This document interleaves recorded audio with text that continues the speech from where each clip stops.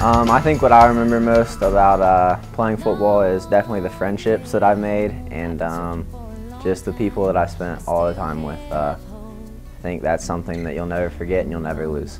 The last four years playing on this team, I've created memories and friends that I'll never forget.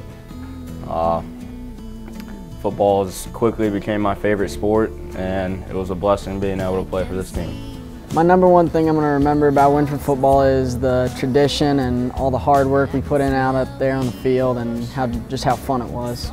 I guess I guess I'm really going to miss uh, coming to practice every day and being with my friends and people I love and just hanging out, playing the sport together. What the season meant to me is that uh, it meant a lot. Uh, we all kind of grown together as a brotherhood and uh, I respect all these guys and I, I love them and uh, I'm going to miss it. The thing I'm going to miss most about my four years of football are just the brotherhood and the friendships that I've gained with all my former teammates and my seniors. Wynford football is the most amazing thing on this planet, and I'm going to miss everybody here. I love every coach. I love all the players. the best thing I ever did in my entire life.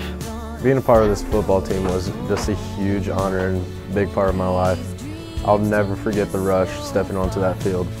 At Wynford football, you learn respect, respect for your coaches, respect for other players, and respect for yourself. So just how to become a man. For me to get the opportunity to be a part of this Wynford Royals football team has meant the world to me. I will never forget the memories and friendships that I have made this season. Cause it's a, a winding road I've been walking for a long time and